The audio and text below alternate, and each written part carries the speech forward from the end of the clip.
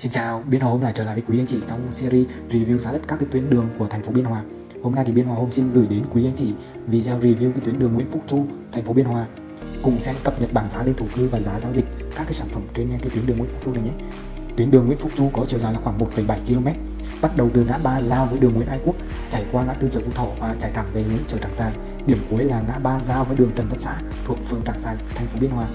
tuyến đường Nguyễn Phúc Chu này thì à, cũng là một trong những tuyến đường chính của phường Trảng Giài chính vì vậy mà tuyến đường này cũng khá đông cái lưu lượng người và phương tiện qua lại tập trung khá là nhiều cửa hàng kinh doanh và buôn bán. Vào các khung giờ cao điểm thì tuyến đường này cũng à, thường có cái vấn đề là kẹt xe ở ngã tư chợ Phú Thọ và ngã ba giao với đường à, Trần Văn Xã. Hiện tại thì tuyến đường Nguyễn Phúc Chu này đang được uh, xây dựng nâng cấp mặc dù đã được thi công từ năm 2021 nhưng mà đến nay thì tuyến đường Nguyễn Phúc Chu thi công vẫn chưa xong mặc dù là khối lượng ờ, không ờ, nhiều và không lớn, nhưng mà hiện tại thì ờ, quý anh chị có thể thấy là các tuyến đường này thì rất là nham nhở các ổ gà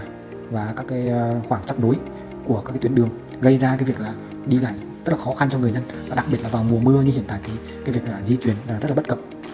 Cùng cập nhật cái giá lên thổ cư của tuyến đường này thì anh chị có thể nhìn lên màn hình. Đường Nguyễn Phúc Chu là từ cầu Săn Máu cho tới đường Trần Văn Xã thì được chia làm hai phần. Phần thứ nhất là trong phạm vi bán kính 200 m khu vực ngã tư chợ Phú Thọ và chợ nhỏ Tràng Giai giáp đường Trần Văn Xã thì vị trí một có giá là 17 triệu một mét vuông vị trí 2 là 8 triệu vị trí 3 là 4,6 triệu và vị trí 4 là 3,3 triệu cho 4 mét vuông lên thổ cư. Và cái phần còn lại thì à, vị trí 1 là 16 triệu vị trí 2 là 7 triệu vị trí 3 là 4,2 triệu và vị trí 4 là 3,3 triệu trên à, uh, 1 mét vuông lên thổ cư.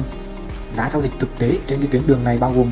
các cái sản phẩm đất nền và nhà phố thì khoảng từ 25 đến 55 triệu trên một mét vuông tùy vị trí à, và tùy à, loại hình đất trồng cây là thổ cư. Và trên cái tuyến đường này thì à, mặt tiền đường này thì cũng rất ít được cái sản phẩm được cả chào bán trên cái tuyến đường này. À, sản phẩm xung quanh cái tuyến đường này thì à, cũng như là tuyến đường Nguyễn Khuyến hay là tuyến đường à, à Trần Văn Xã hay là tuyến đường Nguyễn Phúc Chu này thì à, có đa dạng các loại như là đất sổ chung rồi biên nhận nhà sổ chung nhà sổ riêng đa phần các sản phẩm à, xung quanh tuyến đường này với nhà dùng chung thì à, có giá tầm khoảng 1,2 tỷ đổ lên và sổ riêng thì từ à, 2,2 tỷ à, trở lên. Đây là những cái hình ảnh thực tế của tuyến đường Nguyễn Quốc Trung à, mình là luật của biên hòa hôm xin chào và hẹn gặp lại anh chị trong những à, video tiếp theo.